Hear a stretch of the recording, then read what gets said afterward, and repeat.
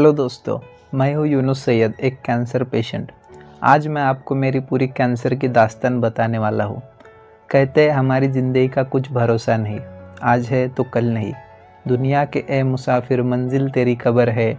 तय कर रहा है जो तू, वो दो दिन का सफ़र है।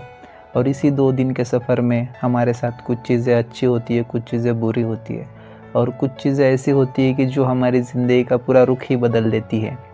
ऐसा ही कुछ हुआ जब मुझे कैंसर हुआ, जब मुझे पता चला कि मुझे कैंसर है।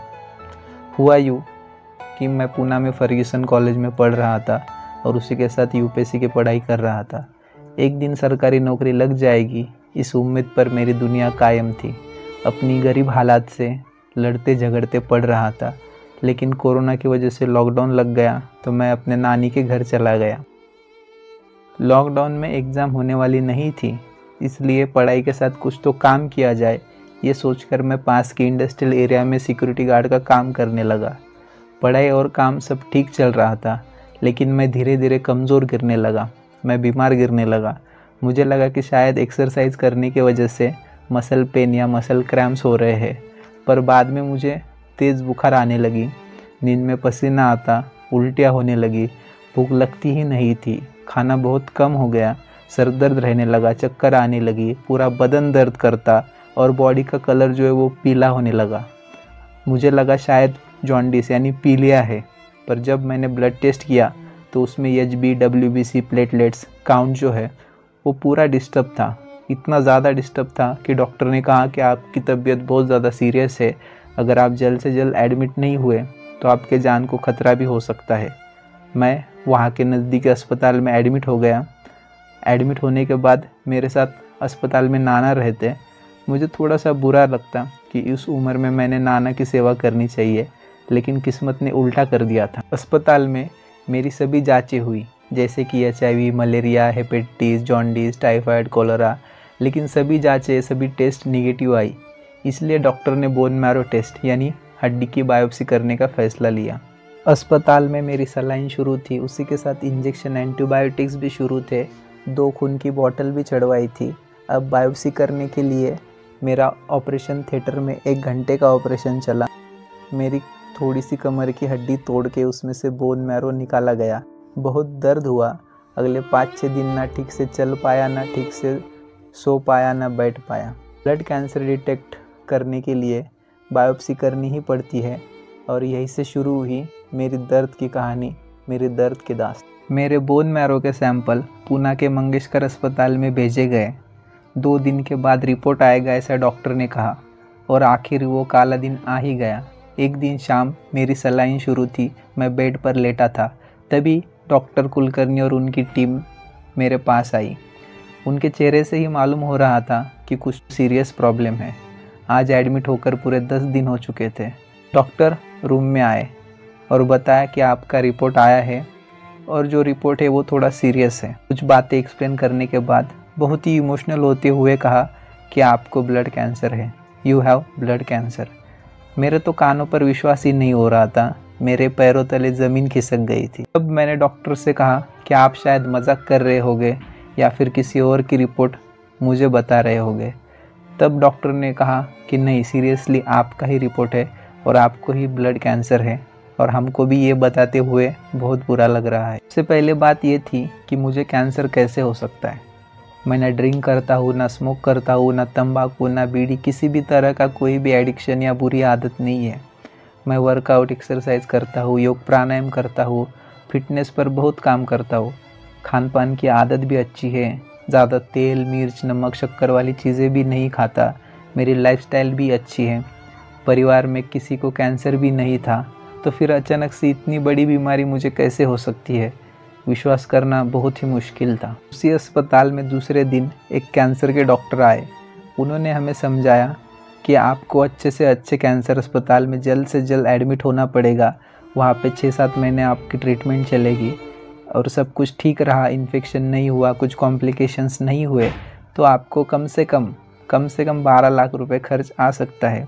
वहाँ पर मेरे साथ सिर्फ़ मेरे नाना थे। उन्होंने जब खर्च का आंकड़ा सुना तो उनके चेहरे पर एक अजीब सी मायूसी छाई। मैंने आज तक उन्हें इतना दुखी, चिंतित कभी नहीं देखा था, क्योंकि हालात ही कुछ ऐसे थे। मेरे घर में सबसे बड़ा मैं हूँ भाई बहन छोटे हैं। पापा हमेशा बीमार रहते तो मम्मी अकेली खेती में मजदूरी करके थोड़ा बहुत कमाती और हमारा घर चलाती। अब इस हालत में इतना पैसे कैसे लाएँगे और कैसे एडजस्ट करेंगे? और कैसे मेरी ट्रीटमेंट करेंगे। दुनिया क्रिसमस मना रही थी और हमारा परिवार शोक मना रहा था। फिर हमारा कैंसर हॉस्पिटल पर रिसर्च शुरू हुआ। कौन से अस्पताल में जाना चाहिए, कहाँ पर ट्रीटमेंट करवानी चाहिए, कितना खर्चा आएगा, कहाँ पे सस्ते में ट्रीटमेंट हो सकती है। ये सब बातें हम डिस्कस करने लगे। क्योंकि मुझे भी कैंसर के बारे में कुछ ज़्यादा पता नहीं था और ना ही मेरे किसी दोस्त या पहचान वाले को कैंसर था। इसलिए हमको गाइड करने वाला, सही से बताने वाला कोई भी नहीं था। और दूसरी बात ये थी कि हम इतना खर्चा करने के काबिल भी नहीं थे। इसलिए शॉर्टकट्स भी शुरू हुए, जैसे कि आयुर्वेद होम्योपैथी यूनानी इत्यादि। एक दिन मेरे दोस्त के ज़रिए मुझे टाटा कैंसर हॉस्पिटल मुंबई के बारे में पता चला। फिर हमने डिसाइड किया कि हम आगे की ट्रीटमेंट मुंबई में ही लेंगे। वहाँ का हमें कुछ भी आता पता नहीं था और ना ही रहने का कोई इंतज़ाम मेरे साथ अस्पताल में इतने महीने कौन रहेगा? ये भी बड़ा सवाल था। तब मम्मी ने घर का सब काम का छोड़कर मेरे साथ मुंबई में रहने की ज़िम्मेदारी उठाई। एक दिन सुबह के अंधेरे में ही मैं, मम्मी और नाना ने मुंबई का सफ़र शुरू किया। जब अंधेरे में चिराग की रोशनी में एक कदम आगे रखते हो तो दूसरे कदम का रास्ता अपने आप दिखता है। आप चलते रहिए, मंजिल सामने देखेगी। और हमारी मंजिल थी मुंबई टाटा अस्पताल। हम वहाँ पहुँच गए। अस्पताल में रजिस्ट्रेशन का प्रोसेस थोड़ा मुश्किल था, क्योंकि इस काउंटर पर से फॉर्म लो, फिर उस काउंटर पर जाओ, एक बिल्डिंग से दूसरी में जाओ जेरोक्स लाओ, फिर फ़ीस भरो, फिर आईडी कार्ड मिलेगा। ऐसा करते करते पूरा दिन सिर्फ़ फ़ाइल बनाने में ही चला गया। मैं भूखा प्यासा इधर से उधर दौड़ रहा था, क्योंकि मेरे साथ मेरी मम्मी थी और वो ज़्यादा पढ़ी लिखी नहीं थी, इसलिए जो भी था वो सब मुझे ही करना था। मेरा एज भी छः से भी कम था, फिर भी मैं ये सब कर रहा था। मैं अपनी ज़िंदगी बचाने के लिए लड़ रहा था। ब्लड रिपोर्ट्स आने के बाद डॉक्टर को कंसल्ट करके एडमिट होने तक रात के 11 बज गए थे। इस तरह से मेरा इलाज शुरू हुआ। इलाज छः महीने से ज़्यादा चलने वाला था, इसलिए मुंबई में रहने का इंतज़ाम भी करना था। फिर हमने 10 बाय 10 की प्राइवेट रूम रेंट पे ली, जो कि अस्पताल से 17 किलोमीटर दूर थी। गली बॉय मूवी की तरह का वो एरिया था। अपना टाइम आएगा नहीं, अपना टाइम अपन खुद लाएगा, ये सोचकर मैंने आगे की ट्रीटमेंट शुरू की। तुमसे हर रोज़ सुबह अस्पताल जाना होता। दिन भर अलग अलग test OPD medical chemo treatment करके शाम में घर आना होता था। अगर तबीयत ज़्यादा ख़राब हो तो ज़्यादा दिन भी कंटिन्यू एडमिट रहना पड़ता। और बाकी दिनों मॉर्निंग टू इवनिंग मेरा इलाज चलता। आना जाना हम ऑटो या टैक्सी से करते, पर पेट्रोल महँगा होने की वजह से उनका भी बिल बढ़ गया। हर रोज़ आने जाने के लिए ही सिर्फ़ कम से कम पाँच सौ रुपये लगते। फिर हमारी डॉक्टर के साथ जॉइंट क्लिनिक मीटिंग हुई, जिसमें उन्होंने हमें आगे की ट्रीटमेंट का प्रोटोकॉल समझाया। उन्होंने कहा कि छः से सात महीने ट्रीटमेंट चलेगी। कैंसर सेल ब्लास्ट 86 परसेंट है। कैंसर पूरी तरह से बॉडी में फैल चुका है। पूरी तरह से ठीक होने के चांसेस 40 टू 50 परसेंट है। मैंने कहा, मेरे लिए एक परसेंट भी बहुत बड़ी बात है। डॉक्टर ने आगे कहा कि आपके केमो रेडिएशन होंगे। अगर इससे आपका कैंसर ठीक नहीं हुआ तो फिर बोन मैरो ट्रांसप्लांट करना पड़ेगा। और ट्रांसप्लांट करने के बाद भी हम कोई गारंटी नहीं दे सकते। बोन मैरो ट्रांसप्लांट के लिए मेरे भाई बहन की मेडिकल हिस्ट्री पूछी गई, ब्लड ग्रुप पूछा गया। ट्रांसप्लांट का खर्चा मिनिमम 16 लाख बताया गया। उसके बाद कुछ चीज़ें इतनी निगेटिव बताई गई कि मेरी मम्मी के आँख से आँसू आ गए। और कोई भी बेटा अपनी माँ को रोते हुए नहीं देख सकता डॉक्टर ने कहा, किसी भी तरह का वायरल फंगल, बैक्टीरियल इन्फेक्शन नहीं होने देना है। फ्रूट्स, फ्रूट जूस, नारियल पानी सब बंद करना है। फिर मेरे केमो शुरू हुए। रीढ़ के हड्डी के C S F I T injection शुरू हुए। एक दिन शाम में मेरे सीने में दर्द होने लगा, इसलिए एडमिट किया गया। धीरे धीरे मैं बेहोश हो रहा था। मेरी हालत बहुत सीरियस थी। मेरे फेफड़े काम करना बंद कर रहे थे। सांस नहीं ले पा रहा था और ऐसा लग रहा था कि कोई मेरे सीने में लोहे की रॉड बार बार घुसा रहा हो। इतना दर्द था। कोरोना टेस्ट भी निगेटिव आई थी। फिर डॉक्टर ने मुझे आईसीयू में डालने का फैसला लिया। तब रात के डेढ़ बज चुके थे। मुझे आईसीयू में शिफ्ट किया गया। वेंटिलेटर ऑक्सीजन लगाया गया। सलाइन लगाने के लिए हाथ की वेन में सुई डालना शुरू किया, पर सभी वेन कोलैप्स हो चुकी थी। तो डॉक्टर सुई वेन में चुबा कर देखते, फिर निकालते। फिर दूसरी वेन में डाल कर देखते, ऐसा करते करते मेरा पूरा हाथ की वेन प्रिक कर दी गई। फिर दूसरे हाथ की वेन प्रिक करना शुरू किया। ये भी हाथ में कई जगह सुई चुभाने पर भी वेन नहीं मिली तो फिर राइट पैर में प्रिक करना शुरू किया। वहाँ पर वेन नहीं मिली तो फिर मेरे सीधे पैर में सुई चुबाना शुरू किया। सीधे पैर में भी वेन नहीं मिली तो फिर मेरा बचा हुआ पैर में भी सुई चुबाई लेकिन वहाँ पर भी वेन नहीं मिली। मेरे दोनों हाथ पैर सुई चुबा चुबा कर छन्नी हो गए थे। फाइनली मेरे गले की छोटी सी नस काट कर सेंट्रल लाइन डाल दी गई और हाथ की एक नस काट दी गई और उसमें से आईवी लाइन डाल के सलाइन इंजेक्शन शुरू हुए। डॉक्टर ने मम्मी को कहा कि आप इतना मेडिसिन लेकर आइए, क्योंकि आईसीयू में बहुत सारे मेडिसिन और सर्जिकल चीज़ें लगती है। मेडिसिन का बिल हमारा सत्तर हज़ार हुआ था। इतने पैसे तब मम्मी के पास नहीं थे। तो मम्मी ने रिश्तेदारों को रोते रोते फ़ोन लगाया। लेकिन रात के तीन बजे थे, इसलिए किसी ने फ़ोन नहीं उठाया। तब फाइनली मम्मी डॉक्टर के पास चली गई, उनको सब सिचुएशन बताई। तब डॉक्टर ने हमारा आईडी कार्ड जमा करवाया और क्रेडिट पर मेडिसिन देने के लिए मेडिसिन वालों को कहा। तब जाकर मेरी ट्रीटमेंट आगे बढ़ी। कई सारे टेस्ट ब्लड टेस्ट किए गए। कोविड की टेस्ट भी की गई, जो कि निगेटिव आई। फिर एक्सरे किया गया। तब मेरे लेफ़्ट लंग में पूरी तरह से पानी दिखाई दिया। एक्सरे में मेरा लेफ़्ट लंग आधा ही दिखाई दे रहा था, इतना फंगल इन्फेक्शन हुआ था। मेरा सिर्फ़ राइट लंग ही काम कर रहा था और उसमें भी इन्फेक्शन स्प्रेड होना शुरू हुआ था। इस वजह से मैं ठीक से सांस ही नहीं ले पा रहा था। दर्द इतना था कि लग रहा था शायद अब मैं मरने वाला हूँ।